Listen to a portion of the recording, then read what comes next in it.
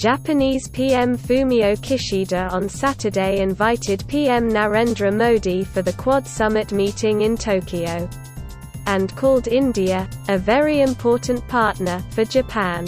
While addressing the 14th India-Japan Annual Summit, PM Kishida said, We will hold the next India-Japan talks as soon as possible. Notably, India and Japan today signed several agreements in areas including cyber security. Subscribe to the channel for more news.